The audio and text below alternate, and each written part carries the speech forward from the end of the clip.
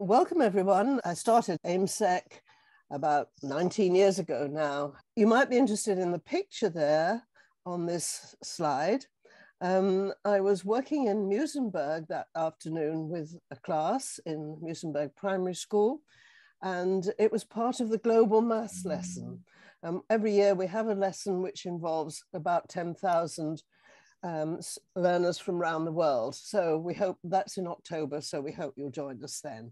Hello everyone, my name's Caroline. I'm the founder of Bubbly Maths. As you can see from my picture, I, I am a maths entertainer, so I do serious maths, rich mathematical activities, and I do it in a way that engages all learners so that they all enjoy doing mathematics.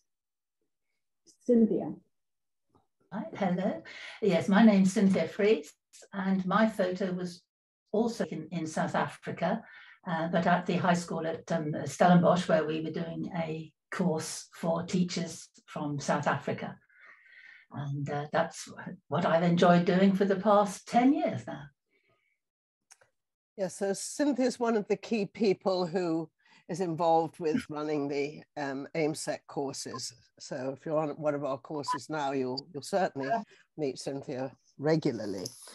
The idea behind lifelong learning is that we start, well, we start when we're born. I, I guess we probably start before we're born, but and more formally, we start when we interact with our with the other people in our homes, and of course, then when we go to um, learning centres, and we, we know that the school career is all about learning.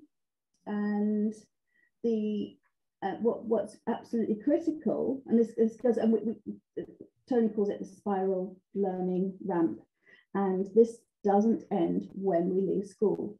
And one of the things that's really important and very helpful to the learners that we teach is that we model lifelong learning we let them know that we're still learning. We're adults and we're still learning every single day. We're teachers and we've got so much still to learn. There's so much we don't know. And we, if we model it that way, you're helping create lifelong learners in your own classrooms. There's always so much more to learn uh, for all of us, no matter how old we are.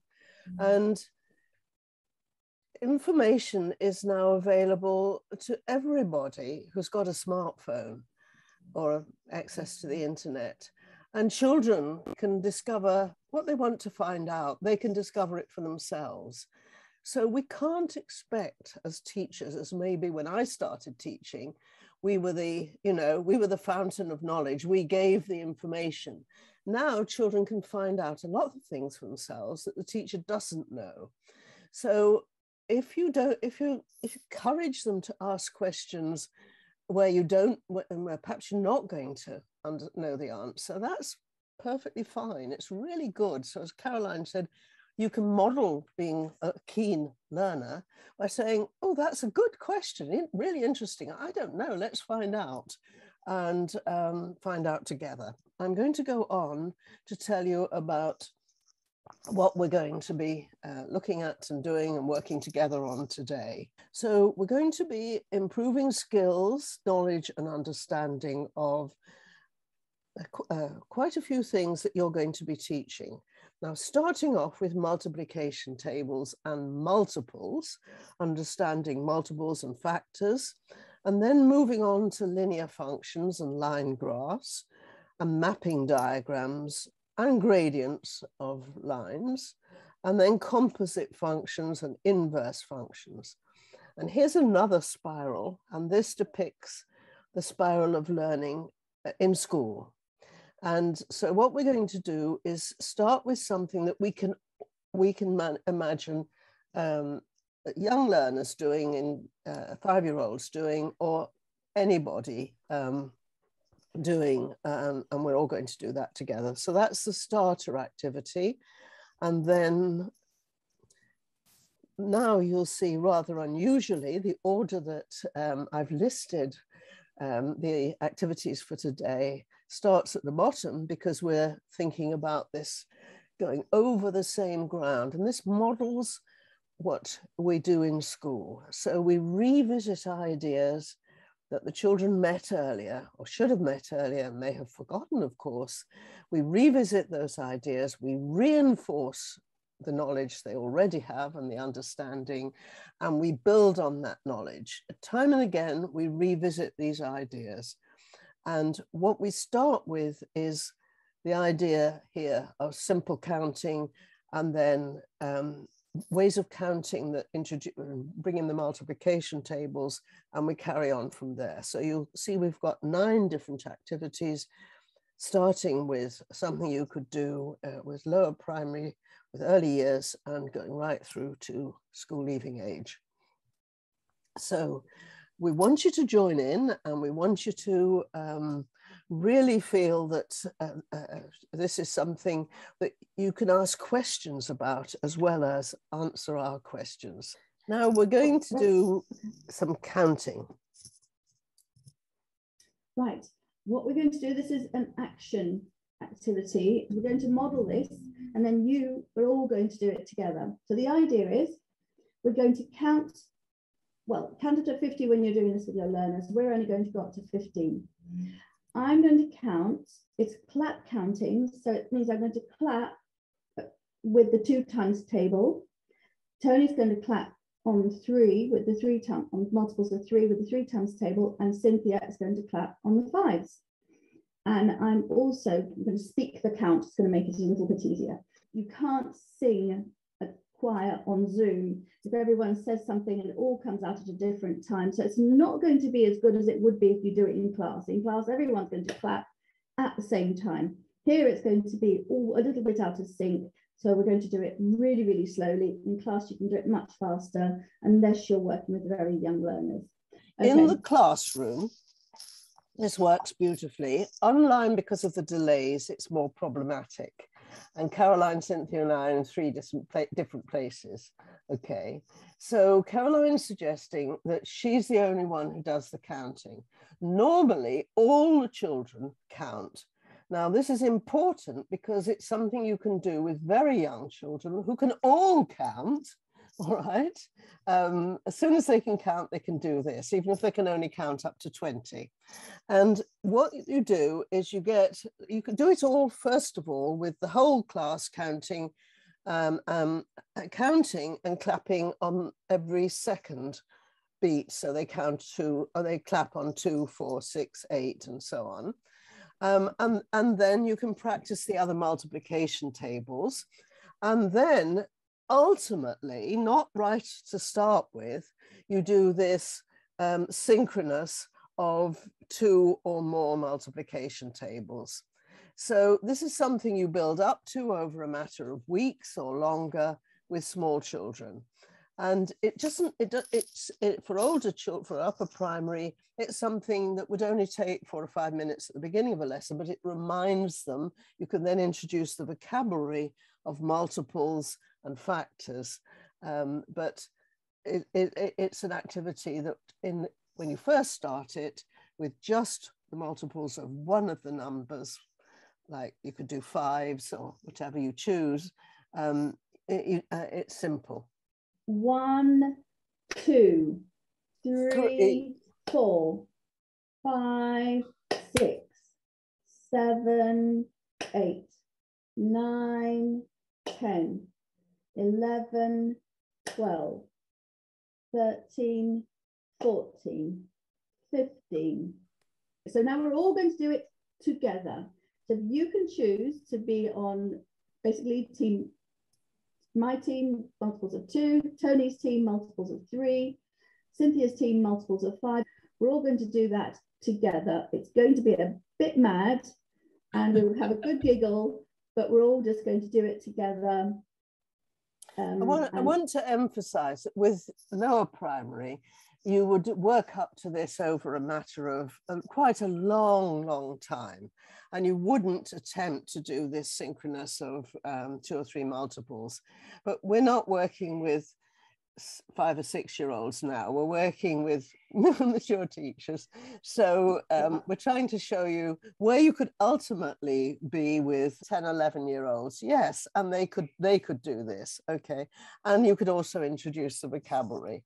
So please join Caroline or join me or join Cynthia and let's let's have a giggle about this. It, it's um, we're all going to clap on our chosen multiple, and Caroline is going to lead us.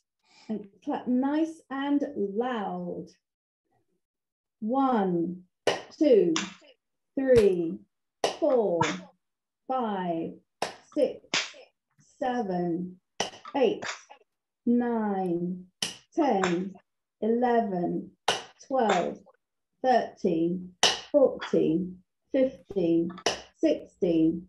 17, 18, 19, and 20. And now we can give ourselves a big clap. it's it's a great way to um, reinforce this idea of multiplication tables, and um, we'll leave it to you to uh, uh, to invent and to be creative with it and use it in in your own way in your own classroom. And when you've Uh, done it ask ask your learners when will all the groups clap together?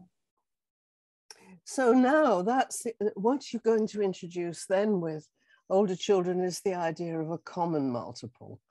And as caroline said the lowest common multiple here is is 30 Elsie and Mm, yes, Tommy just said it lowest common multiple of two three, three and five, and five. Yes, yes. So that's a, a a very. It can be a very short activity for in the classroom, but it does reinforce the ideas that they've learned earlier, and um, it gives you a chance to bring in the vocabulary. right this time silent counting and we're going to say the numbers You only say your numbers two, four, six, eight. I yeah, only say mine three, six, nine, twelve. okay And Cynthia only says hers five, ten, fifteen. Yeah. Two. Three. Four. 5, 10, 15. yeah two Three, four Five, six, six eight nine, ten 12, 14 15, sorry 16 18, 18. 20 I lost count then. Yeah, this is a, this is something that you can have lots of fun with, especially if you get the learners to just do it on their own and you step back and just help participate. So Yes, that tea- is But the teachers could do the, uh, the, the, the, conducting to explain and to show what happens, but then one of the learners can be a conductor. and you can have lots of laughs. So, and now we're all going to do it. So please choose a number, two, what counting, counting twos. And again, as Toni said uh, for early years, you would just say counting in twos, counting in threes, counting in fives, but start with one at a time initially. So choose whether you're in twos, threes, or fives, and write it on the chat so we know and we had a lot of fives last time, so make sure that Cynthia and I have someone as well as people doing fives. very popular. Are you, are you ready? See if I can get get counting in twos right. Good grief. Okay, um, oh my God, you're with you're with Toni. And ready. Two, Three, four, Five, six, six, eight, nine, ten, Ten. twelve, fourteen, fifteen, fifteen, sixteen. eighteen, 20. I keep going, I'm still going. I missed it, 21, 24, twenty-five, 26, 27, 28, eight, 30. and we all said it at the same time. Now there's a question. The question is, what are we learning? What are Well, learning? we we're not learning anything new except perhaps how to, you know, how to do some uh, activities with young learners. But what would the learners be learning? the, the questions that you find on here are questions that you can ask your learners that what, what are called key questions. And these are all questions that you can ask your learners in class. And they're powerful questions that are open. How do you think this will help the learners to understand? What do you think they will be learning? Somebody's written times tables and lowest common multiple. What we're doing is we're laying the foundation for and connections for understanding of concepts that they will learn later on. And then it depends if the teacher introduces the word factor, then you can uh, you can talk about 30 and 2, 3 and 5 being factors of 30. So it's a vehicle for developing number sense, understanding these. Now, I'm going to use a word that's going to come up again because this is part of our program this afternoon, which is sequences. So what we've got here, 2, 4, 6, 8, 10, 12, 14, is a, what sort of sequence? Now, if you're teaching, um, yes, sequences. So what sort of sequence? If you're teaching um, upper secondary, you've got a name for this sort of sequence. 3, 6, 9, 12, 15 is another one of them. And so is 5, 10, 15, 20, and so on. It's important, this is laying the foundation for learning about sequences. Um, but what sort of sequences are they? They have a name. Some of you will know the name. Numeric sequences. Somebody said arithmetic or linear, somebody has said. Thank you. Yes, yes, yes, yes. And formulae and things like that, they're all going to come out this afternoon. Okay, so we are at this early stage, imagining the learners um, being introduced to these ideas, and then later on, we're going to build on them uh, throughout, as we described, the learning spiral. Now I've got a, a lovely um, activity to tell you about, and we're going to join in this. Unfortunately, there's only three of us to show you. So uh, you're going to have to use your imagination. And this is very like what we were doing before. Um, but here, um, everyone is given the numbers one and this time one to six. You could have more, but it works extremely well for one to six. And they have to stand in rows facing the orchestra. So if you imagine a class of learners and you need an outdoor space or somewhere where you've got some room to do this with all the ones behind each other, all the twos behind each other, all the threes and fours and fives and sixes in the columns um, and um, a conductor at the front. It needs a conductor at the front here. As Caroline was conducting us when we did the skip counting, um, somebody needs to be at the front and conducting this orchestra.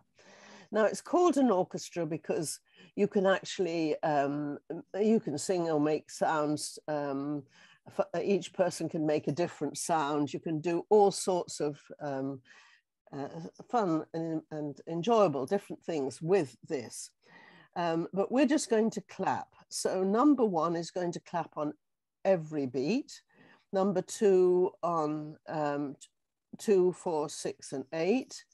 Number three is going to clap on three, six, nine uh, number four and four, eight, 12, and so on, the rest of the sequence, because we're going to go, we'll, we'll, we'll count up to, let's count up to 30, shall we, Caroline, if you're going to conduct. Okay. What you can do with the, um, if you've got them, the, the learners standing up, they can clap above their heads like this. So you can see everybody clapping as if you're the, if you're the, um, uh, conductor, uh, the teacher, you're the conductor at the front. But another thing they can do if they're on chairs is they can stand up. So you can have rows of chairs and they can stand up when it's uh, there. So I would, if we were counting one, two, three, four, five, six, seven, eight, nine, and it's quite good for the to um, get rid of some of those or to use um, constructively some of that energy that children have. Okay, but we're just going to clap on this. So now instead of just choosing two, three, and five, will you choose one, two, three, four, five, and six? And we're, we're going to clap on, on the beat when it's a multiple of our number. So Caroline, would you like to conduct? And you can count, Caroline, it's just you're not going to clap. This time we're doing all the counting and just clapping on our numbers. One, two, three, four, 27, 28, 29, 30. And give yourselves a big clap. It's something that works extremely well with a with a teacher's effective with the uh, learners around and um, and and you, introduce it gradually. Um, so there are various alternatives on on this that you might like to try. Um, you can have seven people in a row if you like. Um, people can sit in rows of chairs and stand up when the number called is a multiple of their number. And as I say, that's that's good exercise. Um, now, we have many times, and some of you will remember doing this, when we've had a residential course at our AIMSSEC courses, we started with this activity on the first evening as an icebreaker and for people to start to get to know each other and have some in, fun together and enjoy doing some, some math, something mathematical together. So what you do is when everybody understands what's involved, they split into groups of sevens, uh, seven in a group, and each group rehearses a show and then the groups perform for the whole class and they do this with actions and noises, uh, music, song, whatever they want to do. They can jump around, they can sit, they can dance to it, but they make it into a show. But effectively, they count from one to 50 and they do different, each one, each person from one to six does a different action um, or they do the chosen action, whatever it is, um, on, on the multiples of their number. Um, now, this is one that a friend of mine has used several times. So I don't know, I imagine you do this in South Africa sometimes. You have the children from the local primary schools visit the secondary school and that they're going to attend after the holiday. So uh, you might do this. Well, in England, we, we would do it in July because our long holiday is in in August, and then they come back to the big school if they move up from primary to secondary in September. And we have a day when the children from the local primary schools visit the secondary school and my friend who's called Charlie, works for NRICH, has done this with the whole, all of these children from the different schools. So they're not, they don't know Charlie. It's a big school, it's a strange place. And on the school field, and he gets them lined up in, in um, rows and columns like this, but extending way back. And he uh, with some other teachers to sort of encourage the children and explain it. And then everybody does this together in unison, um, clapping above their heads. And it's, uh, you know, it's a lovely, a lovely synchronous activity if you can get it synchronized. Um, and uh, Yes, that's just one suggestion. Another way is if you're outdoors, the children can jump up when it's their turn. And that is a real, um, you know, again, it's all this surplus energy. So now, number one, what happens with number one? the thing is that you don't ask them, and it's very funny because a lot of them go, "Oh, I'll just do the one times table," thinking, "Okay, that's the easiest option." And then you actually see their face drop when they realise that they actually have to jump every single time. Yes, yes. So that's the uh, that's orchestra, and there's lots of different ways of doing it. Um, no, you can ask lots of questions. You see, so it can be a good learning activity. Who claps or stands up every time? Well, Caroline's just told you the answer, but um, that's not obvious at first. The children won't maybe, you know, well, if they've done it, they probably know. And who claps or stands up alternately? That's every other time. And when do two people clap or stand up? Well, now you can, we talked about the lowest common multiple of three numbers, but you can say, okay, when do the twos and the fives stand up? Uh, when do the fours and the sixes stand up together, you know, or clap? Um, uh, when will there be an odd number of people clapping or standing up? Um, well, actually, it was pointed out to me that that question isn't quite doesn't quite make sense because it, if you've got a lot of people, um, but what I mean, a lot, a, a, a, an odd number of columns of people if they're um, if they're standing in in this um, array that I, I have described.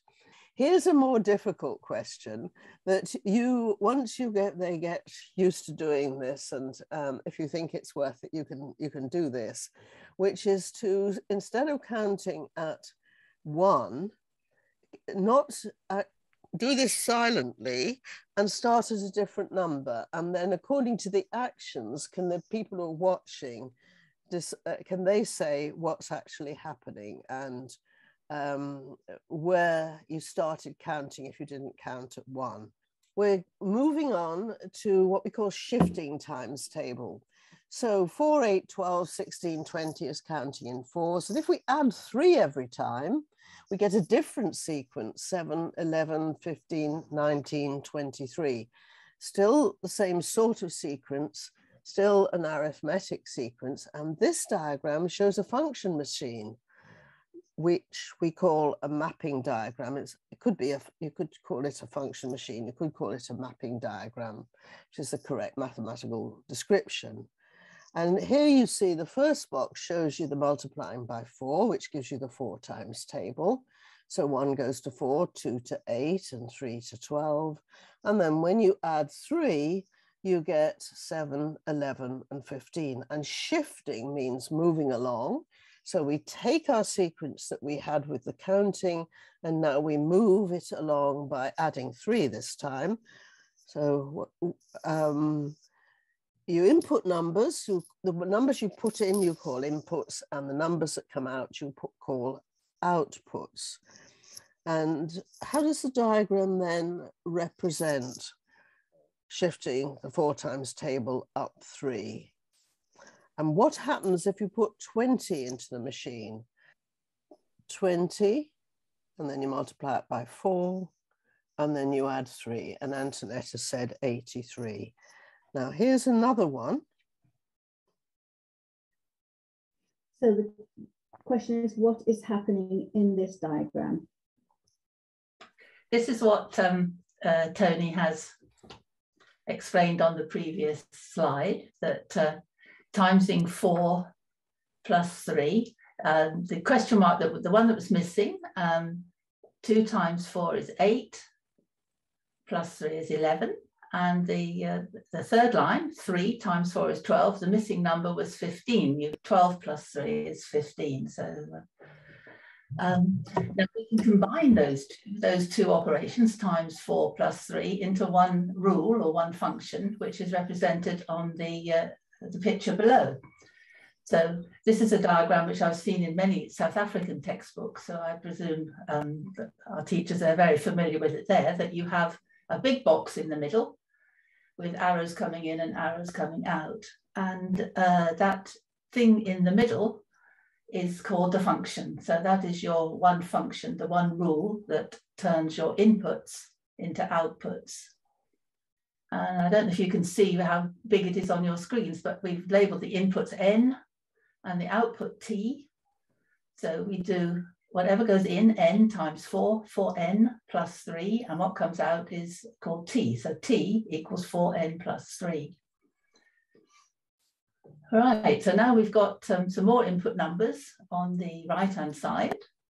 um, showing you the, the multiples of five this time and then what happens when we add two to it to get our output. So we've got two different operations, times five, add two, which when we combine, we get a function 5n plus two. Okay, so now we've sort of experienced uh, what we're, we're looking for. We're looking for what we might call two-step functions. Um, we're looking for a multiplication table and then a shift. So this is up to you now. So you've got a bit more time this time to think. I think we'll leave this up for a little while. So you're looking, first of all, to find what times tables have we used? And then how big is the shift that we've moved it in order to give the second part of the function.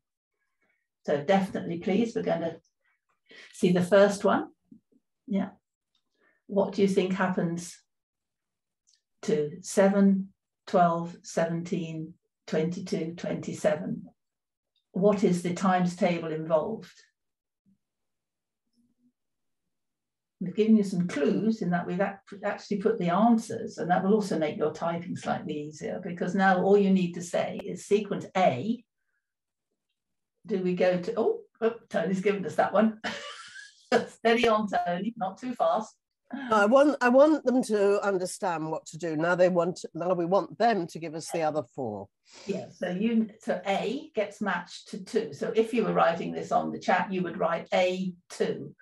So now what does B get mapped to? So is B, is it one, three, four, or five? So have a look, spot the table. So the table, the times table that we're using and spot the shift. All right, someone's seen the essay. Don't have to do them in this in the same order. Someone's spotted the C, answer to C first. So now we've got one for B.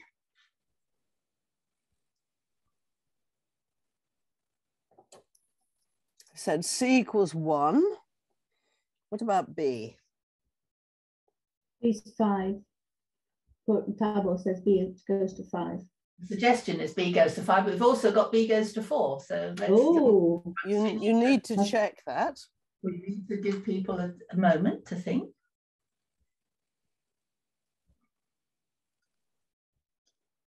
Uh, yes. Uh, now we've got a B is five, so we've got two fives and one four for B. So let's have someone else. Let's see if we can find what do we think B is mapped to. And D and E, you can try those. Yes, yes still, still got haven't had any answers for those yet.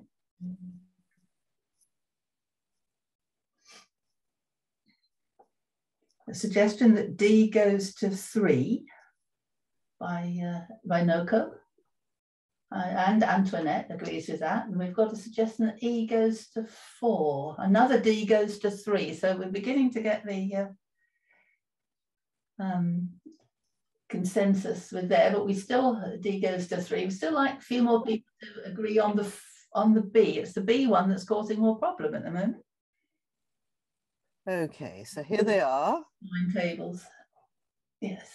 Yes, and it was five, as you just spotted, because we're shifting in nine to 11. So we've got the, it's the two times table. We're adding two every time. And those of you who um, think about it, remember adding loads of twos, lots and lots of twos, is the shorthand for adding two many times is to multiply by two. So that is the, the clue that that's the two times table, which uh, is the one that you you see five gives us the two times table 2n. And it's shifted if we, instead of starting at two, we start at nine. So the shift of our two times table, it's moved along seven places. So it's 2n plus seven. Well, now you can obviously make up your own sequences and rules. So there's a lot of scope there, but we haven't got time if we had, you know, if we'd had more time, we would share this now, and um, people could make up their own sequences and share it with other with the rest of us. But you can do that. I'm sure you can do that.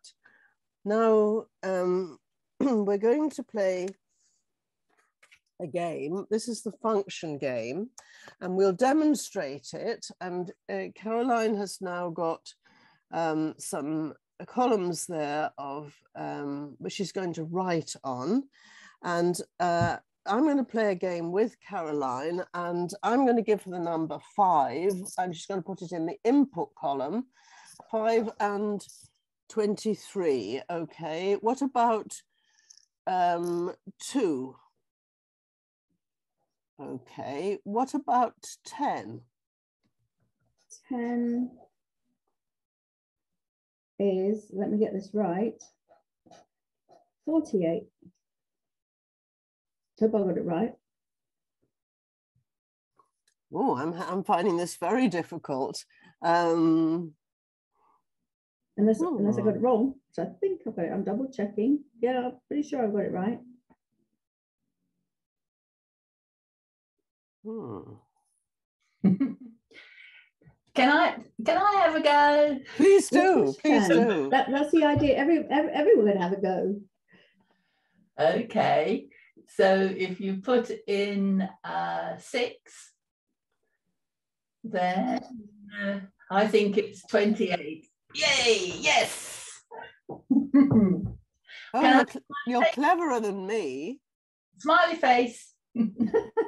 Yes, you're cleverer than me. Um, all right. So if you can guess the rule, people, put this um, put this on on the um, chat.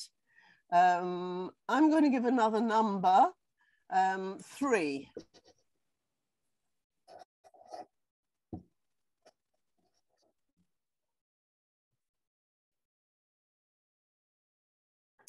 Can you, um, Cynthia's, uh, Cynthia's guessed the rule and um, we'd like you to guess the rule. Antoinette has put a rule up. We got one. Uh, oh, yes, okay. Antoinette has put five and take away two. So five fours are 20, take away two is 23. 10 take away two is eight. Uh, 50 take away two is 48. 30 take away two is 28. And 15 take away two is 13. I think you've got the idea. This is called the uh, the uh, what am I doing game. We didn't ask that question, but it's one the teacher can ask the class.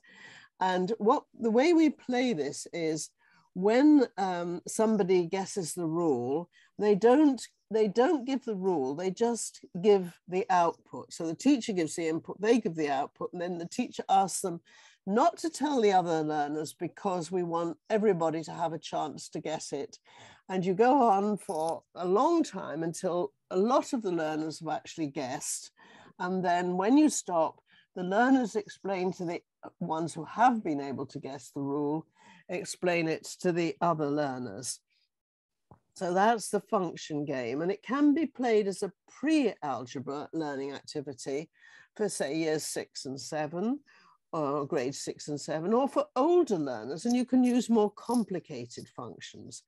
It can be played by the whole class, led by the teacher, or in smaller groups, taking it in turns to ask the question, what am I doing? And everybody else guesses the rule. So I don't know whether you've met this before. Um, it's often called the function game or the what am I doing game. Uh, and uh, they can, it can be done in pairs or small groups. They do need to agree before they start playing which um, functions they're using. Um, you can just stick to adding, subtracting, multiplying, and dividing, but you can put in other operations like squaring numbers if you want to. And um, the winner is the player who guesses the rule correctly with the smallest number of clues. So that's the function game. Yes, so as Toni said, this can be played with uh, with all age groups. And on the courses that we've run before, um, we've used this many times. Anyone who watched my webinars would have seen us play the function game. But the, uh, the game using the box, uh, I've seen many times. And we get intermediate teachers to wear these boxes on their head. You can actually get someone to uh, to stick their head in it, and their head can be the, the machine that's working it. So you need a box and it needs a hole on the left hand side and a hole on the right hand side. And you can imagine that um, the, the mystery thing inside, whatever's inside the box, is doing something to your input and turning out an output. And uh, as I say, it, it, can be quite fun and very, very visual. Um, so what what you need to do is well you can work it just like the function game. You can have but you can put in pieces of paper. So you can have on a card you can write something uh, as your input either um, usually a, a, number. And if somebody is wearing this as a um, you know as a hat then their head can be the machine. But uh, that doesn't have to but you can get the the teacher or somebody else the person who's got the information in their head to take out the card from the other side. And so your input goes in one side, you put the card there, someone puts in, reaches through and takes the card out. And without letting anyone see what it is, uh, work out the answer and give that answer either they can write it if we're playing this silently they can write it on a scrap of paper or write it up on the board um, as the output. So you have you can the trick really is to play this in silence so people aren't making, aren't guessing and aren't disturbing. So you put a silent number in, a silent number comes out, and you have to work out what was the machine doing in the middle. Uh, uh but then, as what Toni hasn't moved on to, with the other one to say is that um, it's very, very, very useful to do it as inverses. So if um, you know that you've once you've cracked what the code is, if you say, right, so if output's 14 and you've been playing this game, what do you think was the input? If you know what the machine, you know, if you can work out what the machine was doing, then you've what had, is... You've had no, you've had no examples. This is the first one, but this would be the input. Yeah. with my with the function I've got here so as you say, there's many different ways that you can play this game, um, depending on the ability levels of your class that you're dealing with and, and what your aim for the lesson is. But it's a very, very useful thing to play. And uh, I say it really gives the, the learners the greater experience of, uh, of inputs and outputs and, and working out functions.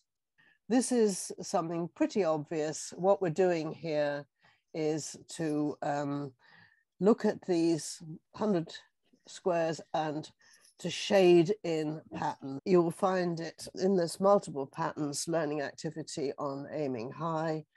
What patterns do you get? So here you see the patterns. So the questions are, what, one of the questions, there's lots of questions you can ask here. One of the questions is, why are there vertical lines for the twos and the fives? What would the patterns be for tens? What patterns can you see for the three times table? Is there more than one type of pattern in the three times table? Is there a connection between the patterns in the three, four, six, seven, and eight times tables? Big question, of course, would be what would happen if we overlaid them all? That is a big question. Yes, I that's a lovely that question. question. Yeah. So why do this? Well, again, this is an activity that uh, that I have used many, many times uh, on the courses and in the the study guides that we produce for our online courses, um, because you're you're beginning to to expand the idea of um, of multiples. Um, you're looking at um, factors, so these words that we've been using before. If you really examine the, uh, the ones that like the, the three, the nine, the 12, you will see why um, you know, the same, some numbers are shaded, the same numbers are shaded in different grids. Um, you can, as you say, look at the, the similarities between them. But what, what I really like to do is to get them when they've understood the problem is to then shade one big grid with all the multiples on, and then what you'll see, what you are left with, the numbers that are not shaded, if they're not a multiple of any, um, any of the numbers, we can start to think of prime numbers, because prime numbers only have two factors, as we know, one and the number itself. Um, so they if they don't have any other factors, if they're not shaded, then they are prime numbers. And that's called the sieve of Eratosthenes, which is the, something that you can look up. There's the link there on the uh, on the screen in front of you. So there are lots and lots of um, things that the learners can get from this. As you say, those um, the listing down there. Um, apart from the all the different vocabulary that we've introduced, um, multiplication, division, factors, multiples, common multiples, um, we're also using visualization. And if they're not quite sure um, of their tables at any one point, that they can use the, the patterns that they see to, you know, to continue the pattern without having to know whether, I don't know, whether 91 is a multiple of anything in particular. Um, you know, when you're shading these squares, you can use your um, visual sense of what's going on to find all the numbers that you need. And it's a great poster to have the multiples one to 10 and then the, the sieve as well on one poster is a really good one to have on the wall. Oh, right. I would like you all to please follow my instructions. So first thing is close your eyes. We are going to do a little bit of calculation. Just close your eyes and choose any number to start with, any number at all. Now multiply it by three.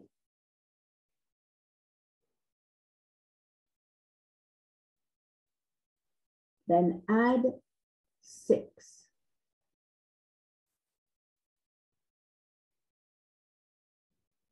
Now take away your original number.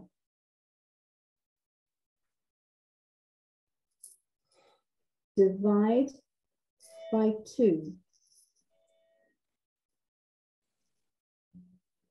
Take away your original number again.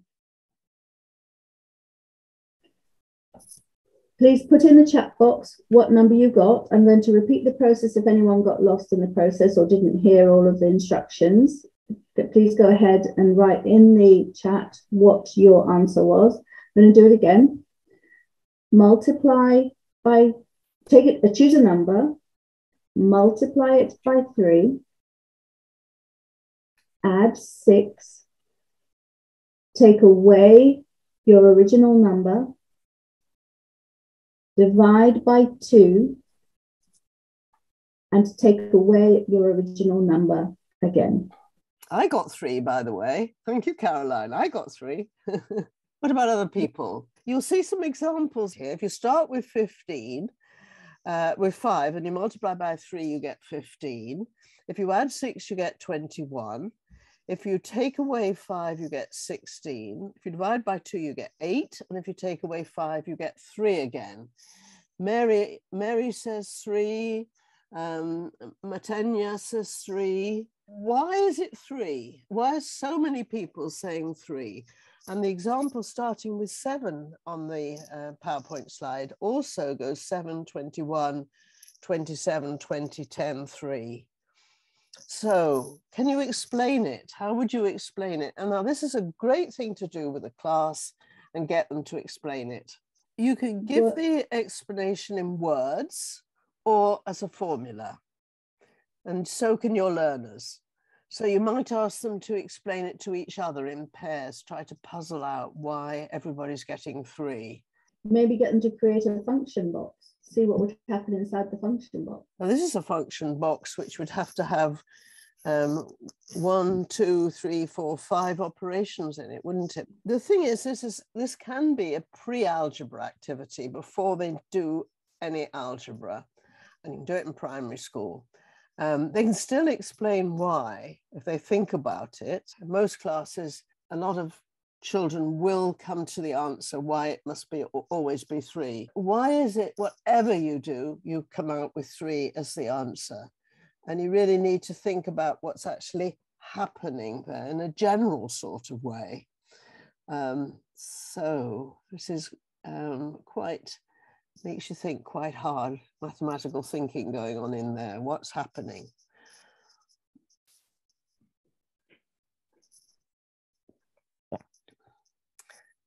how many times do you take away your number and what, what else do you take away? Um,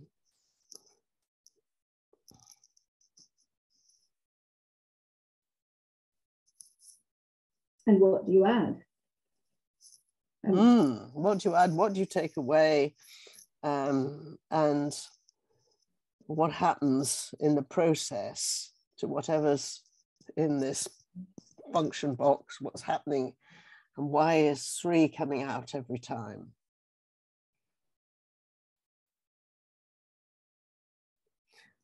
You see, by the time you've multiplied by three, you're going to have your number in there three times, but you take it away twice, so you get back to your number. But what about this adding six? Um, what happens there? You add six. Sorry, Toni, you take away your number three times because you take away your number before you divide by two. So that's that's why it works. It says take away your number, then divide. So you take away your number once, but then you divide by two. So when you or you could simply look at it you could yes. simply look at it, but yeah, I suppose so, yeah. Cynthia's right. Added, Cynthia's absolutely yeah, okay. right. You take right. away your number three times. You've multiplied it by three, but you take away three times. And it's the six divided by two, which is three, that comes out in the end. Yeah. So there it is in words without any algebra. So, uh, Caroline, would you like to explain the algebra? I will do my best. Let's go for it. So your input is x. That's the number you're putting in. And then what you're doing, you're multiplying x by 3. So you've now got 3x.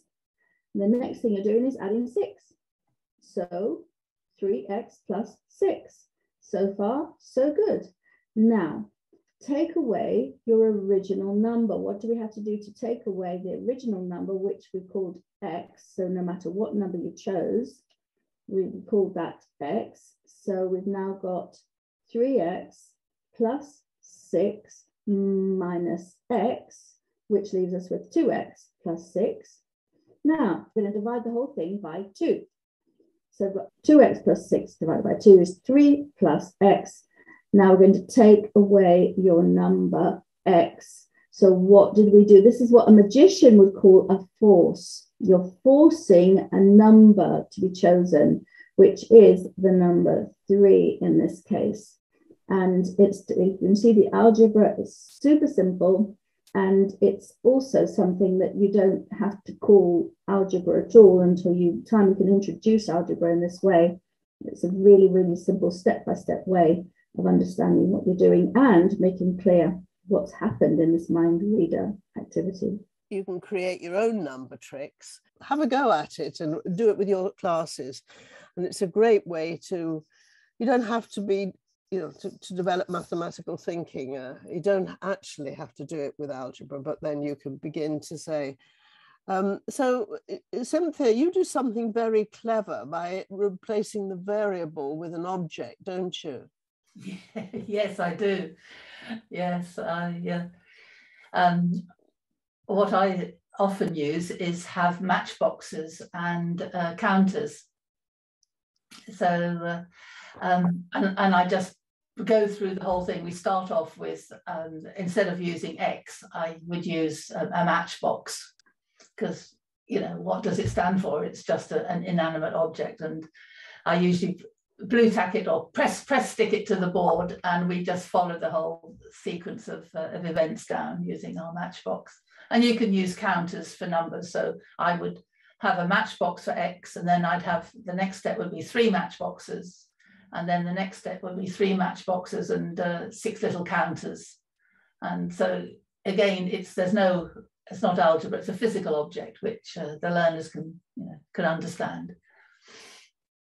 Yeah, well, so so there you are, mind reader. That's a great activity so we've got some of our sequences like we've seen before. We've got the, the sequence 7, 10, 13, 16, 16 19.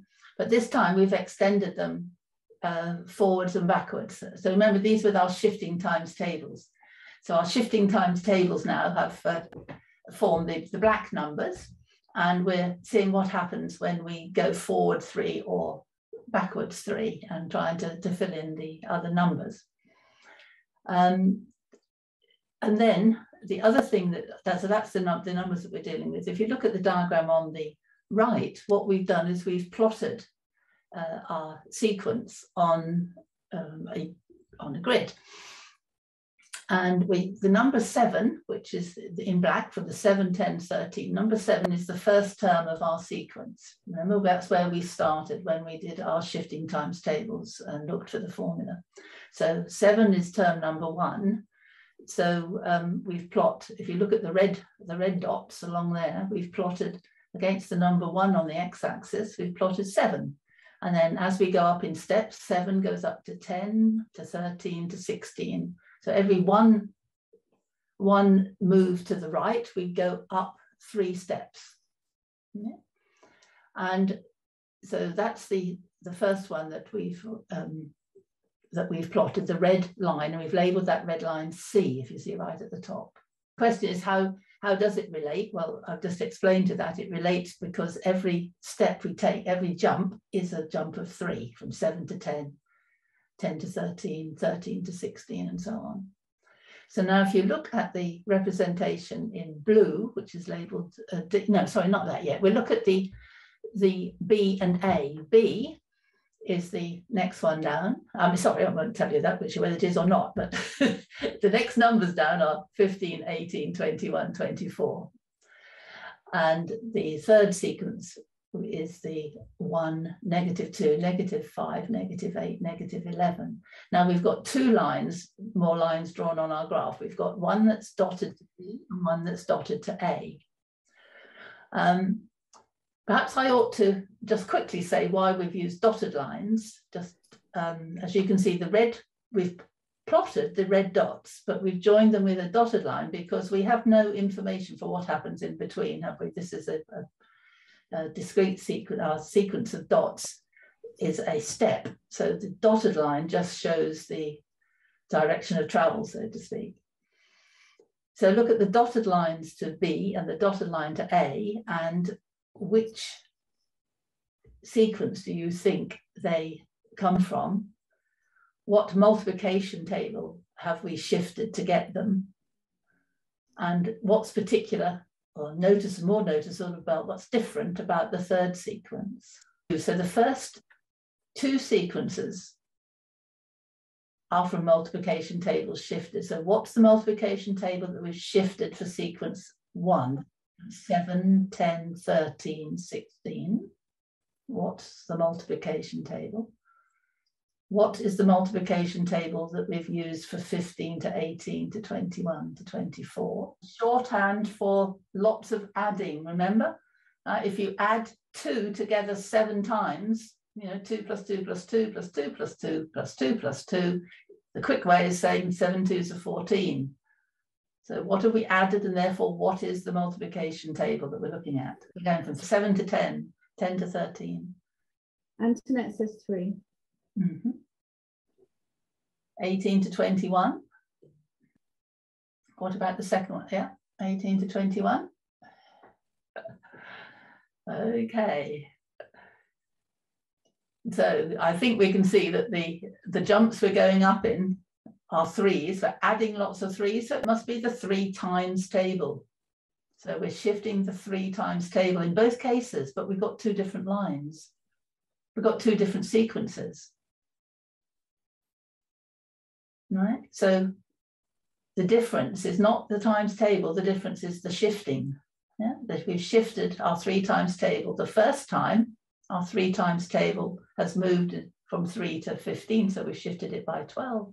Uh, whereas the seven to 10, the three times table, we've shifted it by four. So we've got the same times tables, different shifts. So we've got different dotted lines which should tell us, give you a few more clues now. So what sequence relates to line B and which sequence relates to line C?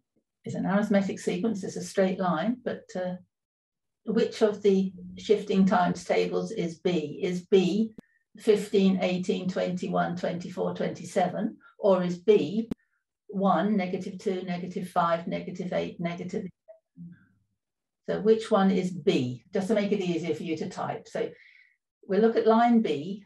Just give me the first two numbers of the sequence that gives you line B. The line may go well up in, you know, it doesn't stop with, where my picture stops there. No. Antoinette says B is 15, 18, 21. Yes, and she's right. Mm -hmm. Yeah, because if you notice, if you look at the green dotted line and the red dotted line, you should notice that they are in fact parallel. Yeah, they are parallel lines, just shifted. Using that word shift again. What do we notice about line A? It is definitely not parallel, but if you can see it's sloping in a different direction, it's sloping backwards. And so we're beginning now to look at what is it that makes a line slope backwards? What is it that makes B and C parallel? Look at our, Toni has put up the, uh, the equations of those lines now. Line C, the one we started off with with our first sequence is 3n plus 4 line B is 3n plus 12. So what we can say, what stays the same? If the lines are parallel, the slope stays the same. So which of those bits of the formula do you think tells us that the lines are parallel? And what is it about t equals negative 3n plus 4 that tells us that our line slopes backwards? So things to notice, things to, to look at. Line D What about line D? What do we know about that? Does it slope, is it as steep as line C? Does it meet line C anywhere? Does it cross over? If they're not parallel, parallel lines don't meet, don't cross, but C and D are not parallel, so they do cross. Uh, where do they cross over? Why do they cross over? All questions that you can get your learners to explore. If you want more information, you want the, uh, the teacher's notes and the guides and so on, uh, go to the Aiming High website. It's called Steps. Yes, there's a lot you can do with that. And what we're doing there is linking the sequences to points on, on these lines. And as Cynthia's explained it, you can also see that line A and C are reflections of each other in, the y-axis. And now we're going to go on to look at uh, the whole line. So I've, I've taken off those red spots. Um, so we use N for the numbers one, two, three, and T for the terms, as we did on the last slide, for points with only whole number coordinates, where we're just talking about the sequence. So we're moving now from the steps and the sequences to linear functions, to graphs, and in a minute we'll be thinking about gradients. So again, we can give our learners sequences like this and we can ask them to continue the sequence on and to continue the sequence back as we did just now. And that's the first one and there's uh, two and three as before. And there is the other one, which uh, is line D, which uh, I've put um, with the others. So you have um, the four lines in the with the the formula which gives the function, but there we are only having for the particular function um, which gives a sequence, we're only having whole number inputs. But if our inputs can be any number whatsoever, literally any number, then we're going to have the whole line. Now, eh, there we very often use the variables x and y. So we're going to distinguish between if we've just got grid points, which is linking the sequence to all, the whole line and the linear function, which means you've got to join up those grid points to make the whole line. Now I want you to imagine yourself. Um, so imagine you are climbing the red steps. That's why it's called steps. Imagine you're climbing the red steps from the point minus 3, 5 to the point 313. So you go up um, from minus 3, 5. Can you see it's here? Minus 3, minus 5, yeah. Minus 3, minus 5. And yes, I said 5, minus 5. Minus 3, minus 5 uh, one, two, three, four, five, six, seven, seven steps here. Now imagine you climb from the same point. Cynthia asked, where do, the, do these two lines intersect? They, the lines um, C and D intersect at this point, minus three, minus five. And if instead of going up the red steps, you go up the, the blue steps, which in the first instance are sort of hidden, but then you can see the blue steps, okay? Um, and you go up to the point three, seven, which is, which is, which is here. Um, there we go, three, seven is here. Um, which is the steeper climb? and why? And how could you measure the steepness of the climb? Now, I'm sure you can answer these questions. Um, what, what, we're asking is, um, you know, uh, how we're, relating the mathematics here of um, gradients. We're going to introduce this word gradient. Um, we're relating it to an idea everybody knows about climbing steps and the red are steep steps and the blue are little steps not so not so well not so steep. They're quite steep not so steep. And these are questions you can ask your learners which is the steeper climb and why is it steeper and how would you measure the steepness of the climb now how about answering that question, how would you measure the steepness of the climb? I'm sure we all know it's gradients or uh, and and you maybe introduce the learners to a formula. So how do you measure the steepness of the climb? The climb on line C from one grid point to the next or, as, as um, steeper than the climb on line D. Antoinette says the difference in the height divided by the difference in the length of each step. Take two points and the coordinates, you, you divide the difference in the y coordinate divided by the difference in the x coordinate. Now, another way of measuring it is to say, how much do you climb up for each step across of one unit? So that's what you see here. What you see on this graph is every time you go across one, what do you go up? But Aaron has said on line C, you go up three, and on line D, you go up two.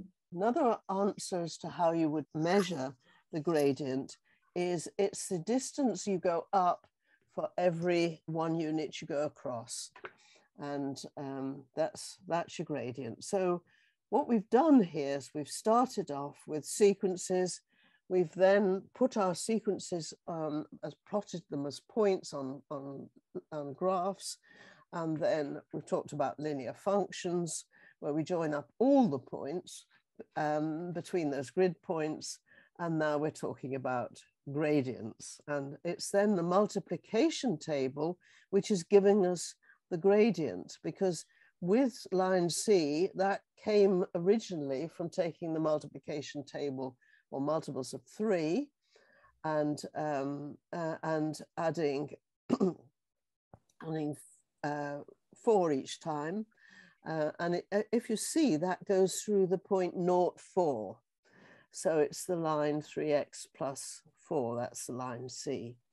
And if you look at the line D, that came from the multiplication two, but adding one each time. So instead of being two, four, six, eight, it was three, five, seven, nine.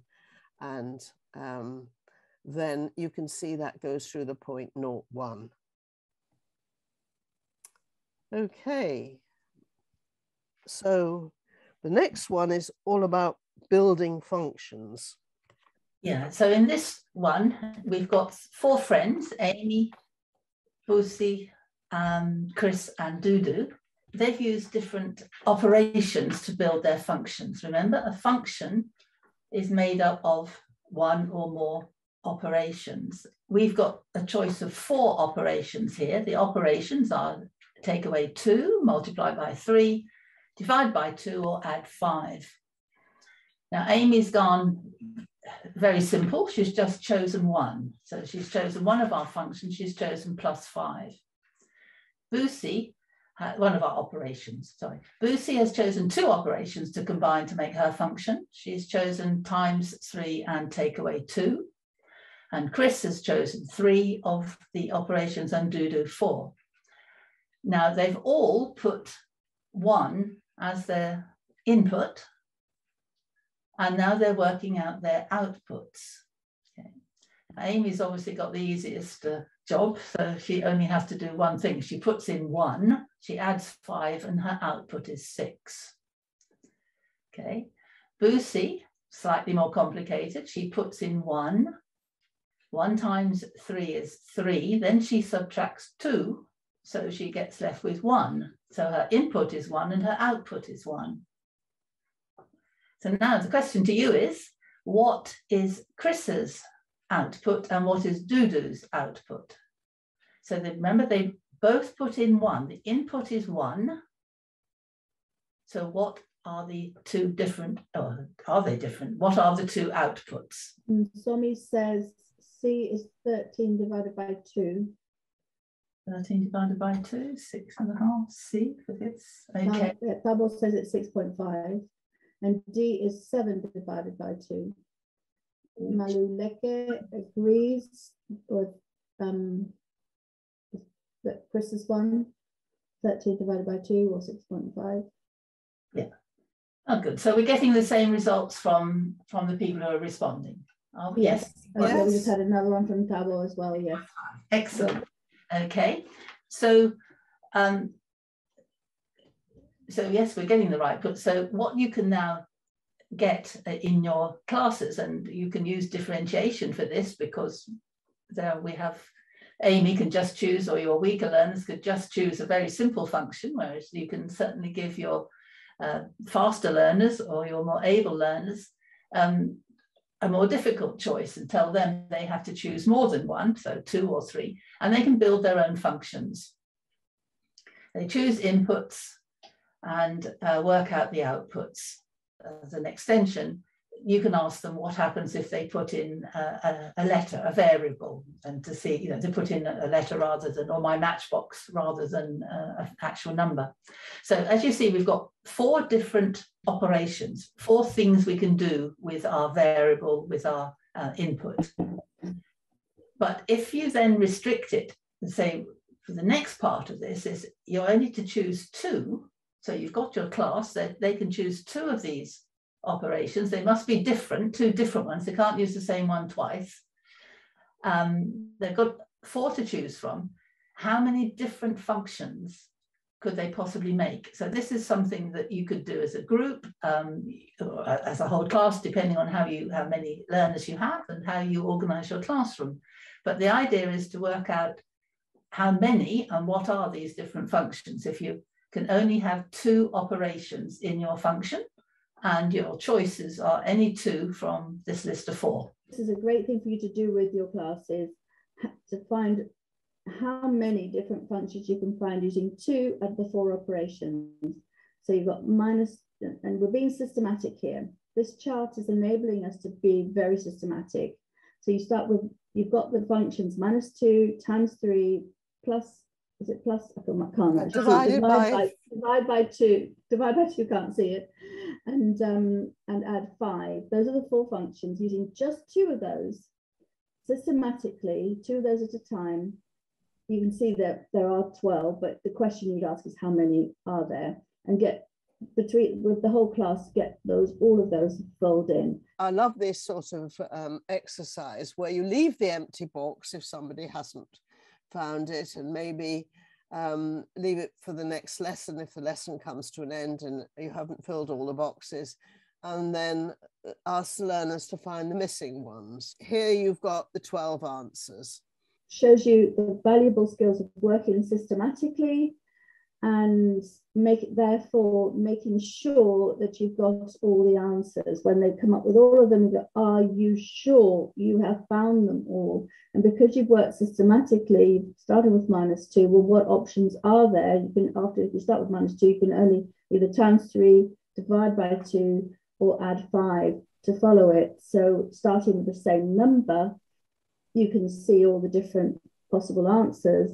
And you, as you can see, you get the same answer using different functions and in different orders. So it's a very powerful activity. So if you look, for example, on the third column at the bottom, you're going six to three to eight. And what in on that column, you go from six to three every time. So you're dividing by two. But at the bottom there, you're doing divide, dividing by two and adding five. So that's a half x plus five. And you'll see all the functions there. But what would happen if you were, you were going to use all of the um, four, four operations?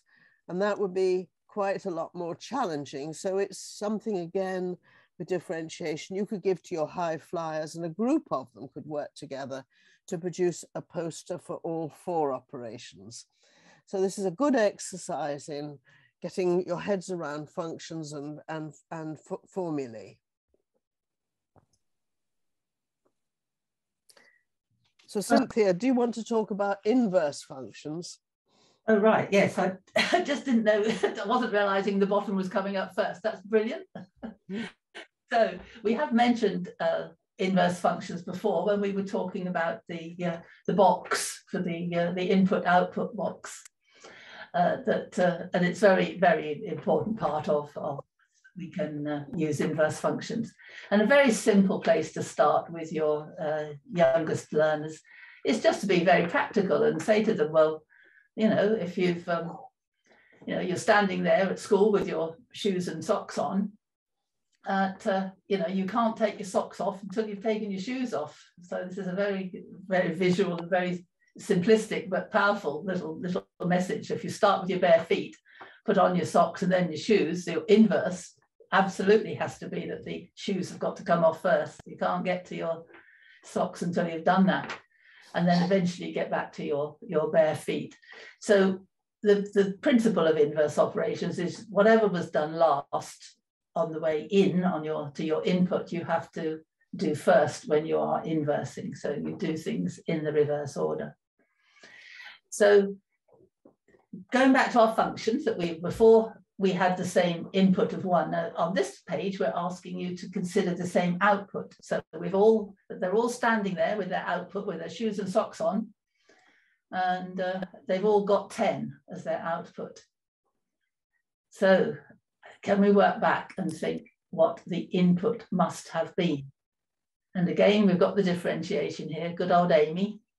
If our output is 10, well, what did she do when she went on the way in? On the way in, she started to with her number and added five. So to inverse it, if we've got 10 as the answer going backwards through our function box, we've got to subtract our five first. So we go 10, take away five, her input must have been five. Okay. Now Boosie, slightly more complicated. What she did was times three and then take away two. So if we're going to inverse that, first thing we've got to inverse is the take away two. So what is our inverse of subtraction? In any case, it's add. So if she started with 10, uh, sorry, I'm starting with 10 because she finished with 10. So our output is 10. To inverse 10, we have to add the 2, the inverse of the negative 2, so we get to 12. And then instead of timesing 3, the opposite or inverse of times is divide, so we divide by 3. So our 12 divided by 3 gives us 4. So Bruce's input must have been 4. Now, the wonderful thing about all these is that uh, you can, or your learners can self-check because what they then have to do say, right, is that right? Was my input 4? Well, let's check it. Let's start with the input 4. 4 times 3 is 12, take away 2 is 10. So they can check their own work and be confident that they've worked their inverse operations in the right, in the right order. So now your little job very quickly, if you can. Um, the output for Chris and Dudu is both, in both cases is 10. So what were their inputs? Now the, the slide is suggesting two and a half and five and one third, but are they correct? Do you agree? So can you just check if the output for Chris and Dudu is 10. What was the input? So some of you are way ahead of me. Brilliant. So what we got is C. Um, we said 12. That was from before. Is that true? So let's start with, uh, give us a few more, we want a few more answers to whether we decide that that's right. So this person thinks C is not two and a half. No, it's um. Hang on. From before. but it's not four either, is it? So let's have some more answers. Let's work C back. While while I'm doing that, perhaps you can have another think about uh, D. Um, so C, if if 10 comes out, output 10, what was the last operation? The last operation was add 5. So we have to subtract 5 from 10. So 10 subtract 5 is 5. Yeah. Then the next operation, we have to inverse the times 3. So divide by 3. So we want 5 divided by 3. And then the last thing to do to that is then double it. So 5 divided by 3, but doubled will give 10 divided by 3. Have we had? Yes, we've got a 10 divided by 3 on the answer. Well, and 10 divided by 3 is 3 and 1 third. So Chris's answer that he gave as two and a half is wrong. So C's, Chris's answer is wrong. Chris's answer should be 10 divided by 3, positive 10 divided by 3. Have you got any options for Dudu's? I know it's a it's a longer one. Well, let's see if I can do, see if my mental arithmetic will cope with, with uh, four operations. So let's start at the end, remember? 10, instead of plus 5, we subtract 10, take away 5 is 5. Now, inverse the divide by 2, we multiply by 2. 5 multiplied by 2 is 10, so I get to 10. Now I've got inverse times 3, so I divide by 3. 10 divided by 3, I'm leaving it that in the head for the minute. 10 divided by 3 and then uh, instead of uh, inverse my take away 2, I add 2. So I've got 10 divided by 3, add 2. Now, we did 10 divided by 3, didn't we, in the previous one? 10 divided by 3 is 3 and a third. Then add 2, so that's 3, add 2 must be 5 and 1 third. 5 and 1 third. Ah, that's what the chart said at the top. Dudu's answer was 5 and 1 third. So I think I agree with that. And then the extension is, well, what would happen if the output was 20? Um, and then this is something, or you could make these up in your classroom. You could just tell them uh, numbers that, to work with depending on the ability of your, your learners and whether they can cope with fractions. Now, if, if you want to simplify this, obviously you have to work these out in advance. If you think your learners can't cope with too many fractions, then you need to find some whole number answers that will work. So uh, it's up to you as teachers to tailor this type of activity to suit the abilities of your class. And of course, you want them to get some practice in fractions, so you might use this yes. as a different way to get involved with fractions. Decisions, decisions, but all yours. So let's have a summary. Where have we been with this workshop? We, if you look at what we've been doing, we started with clap counting and skip counting which were actually just the multiplication tables, but as a sequence um, and um, adding the uh, uh, other number. So we shifted our sequences. And then we looked at patterns of multiples, um, but we're, we, we're introdu uh, introducing function machines there. So with the five times table, it's multiply by 5 and add 2. So from 5, 10, 15, 20, 25, we got 7, 12, 17, 22, 27. So we got different arithmetic sequences there. And then we thought about um, the function machine and this one halved. So there was a little joke on that slide, don't put your hand in it. It halves all those pieces of fruit. Um, but it's perfectly harmless when you come to halved numbers, of course. Of course, you can see there the one of the examples of patterns of multiples. Um, and that is all connected here. It's all about multiples, isn't it? This whole um, session has been in one way or another connected with multiples. and shifting the times tables. And now we're link, we linked that to the steps and the graphs and the linear functions. And of course, the sequences just gave us the, the y coordinates of the points on the graph. Um, and then when we joined them up, we had linear equations. So we've got linear functions, linear equations, and the rule there that we've got is for line C was 3n plus 4. Um, and then we looked at um, the, the, the hat, the, the magician's hat there and wand was about having fun with numbers and coming up with surprising results that um, can be explained by algebra, but pre-algebra can be explained with words. And then we had our examples with one or two or three or four simple functions put together to make um, combined functions and um, the formulas are given there for those. And we talked about, the last thing we were talking about was inverse functions. And there's a picture of somebody with their shoes and socks on. But when you come to combining functions, of course, with the functions, the raw ingredients, um, just two functions, you can make lots of different um, combined functions with the two.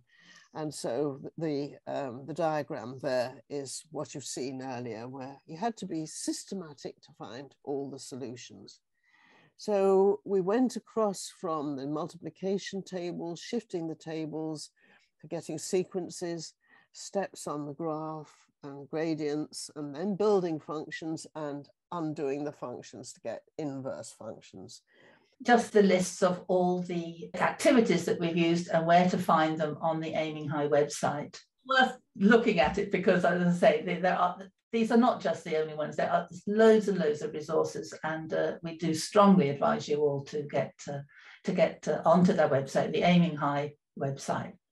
And um, you you can just put the title there, shifting times tables or multiple patterns or mind reader in the search, and it'll take you immediately to um, the activity that we've, and much more about these activities than we've been able to explore this afternoon. Including the very, very useful teachers, teachers notes, which uh, and, and copies of the worksheets that we've used.